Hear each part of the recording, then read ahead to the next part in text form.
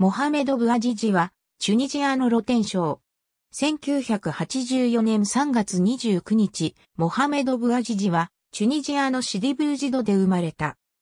地元では、バスブーサというニックネームで知られていた。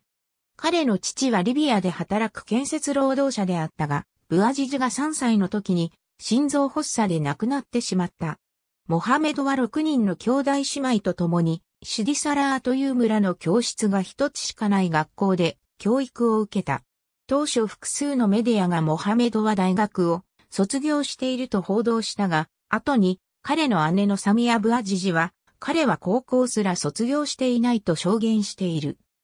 父の死後、モハメドの母は父の兄弟と結婚したが、この叔父は健康問題を抱え定期的に働くことができなかったため、モハメドは10歳の時から様々な仕事をし、10代後半にはフルタイムで働くために学校を辞めた。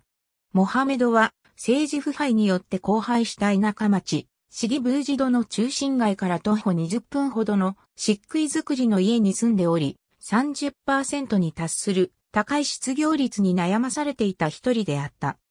彼の母親によると、モハメドは一度は軍に入隊することも考えたが、入隊許可が下りず、続けて試みた。いくつかの仕事も公的許可が出ないなどの理由でうまくいかないことが続いていたが、それでもモハメドは母親、病気がちの叔父、さらに大学に入学した妹を含む年少の姉妹兄弟の面倒を見るために様々な努力をしていた。妹のサミアによると、モハメドは露天商の仕事で金を貯めて、バンを買うことを目標にしていたという。モハメドをチュニジアの英雄として称えるデモ2010年12月17日、モハメドはいつものように大通りで野菜売りの路上を行っていた。モハメドは店の常設許可を役所や大統領官邸に求めていたが、回答は得られなかった。当日、野菜と友人から借りた計りを政府の女性職員に没収された。さらに女性は彼の父親を侮辱し、彼自身のみすぼらしさを嘲笑い、平手打ちを食らわせた。その後モハメドは役所に、計りの返却を求めたが、追い返された。役所に払う賄賂がなかったため、解決に至らなかったと言われている。正午頃、モハメドは没収されなかった野菜カートとガソリンの入ったポリタンクを手に再び役所前まで来た。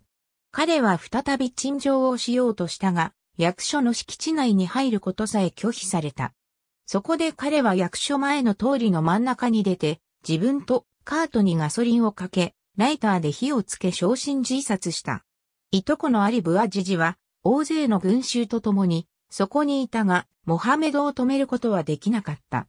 18日後、モハメドは搬送された病院で死亡した。アリは事件が起こった直後の現場を画像に収め、インターネットに投稿した。画像は直後の騒ぎを収めた別の画像とともに全国に広がり、モハメドを中東革命の英雄的殉教者とみなす者、彼を模倣し後追い自殺をする抗議者が現れるなど、社会的波紋が広がった。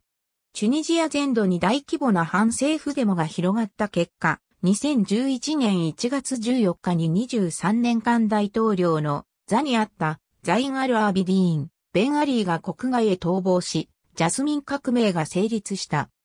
ジャスミン革命の成功により、民主化運動の波は、エジプト、イエメン、リビア、バーレーン、アルジェリアなど中東及び北アフリカ諸国に波及し、アラブの春と呼ばれる運動となった。モハメドの墓2011年6月30日、フランスのパリ14区にモハメド・ブアジジの名前を付けた広場が誕生した。10月27日にはアラブ世界の歴史的な変革に貢献したことが評価され、他の4人と共にサハロフ賞を受賞した。12月28日、タイムズは意図がどうであれ、彼の死は抑圧された民衆を鼓舞したとして、今年の人に選出した。ありがとうございます。